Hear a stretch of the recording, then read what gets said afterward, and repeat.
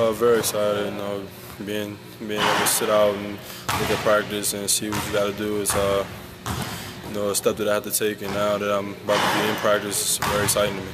Uh, emotionally, um, you know, just staying with the guys. The guys always help me a lot. Um, the coaching staff helped me out a lot just by encouraging me, keeping me uh, with them at all times, keeping my head up, and um, physically, I just had to do mental process every day, preparation for um, the surgery and rehab every day with Tim, and you know, doing that made me better than how I am now.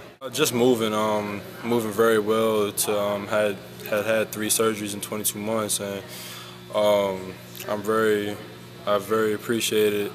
Um, appreciate the fact that you know my uh, health is back to normal now, and uh, I appreciate the work that Tim Garl and uh, Janae Jackson did with me, and uh, I appreciate the coaching staff, and I appreciate my teammates for staying with me at all times. Uh, it was very exciting, um, you know, to be back with the guys, and they had a great season. Uh, it was very exciting, and now that I'm coming back with them, I just feel like uh, I got to catch up to their level, but at the same time, um, you know, I just worry about what they do and help them out as well as I can. I just want to, you know, be myself and uh, just play my game, and whatever happens from there happens. Um, don't want to rush nothing, don't want to force anything. Just play how the team plays and go what the team do, and uh, you know, win games. That's all I really care about.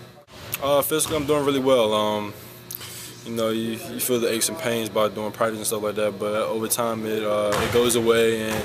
Um, going day by day is real great for me because um, you know I would have thought I'd have been on a day-to-day process, but no, I'm going full go, and um, great for that. Very excited. Uh, definitely have my family come out and uh, support me. I know a lot of people are gonna support, and I just can't wait to you know have that jersey on again and uh, play with the guys again in a full go game, and um, it's gonna be very exciting. Can't wait.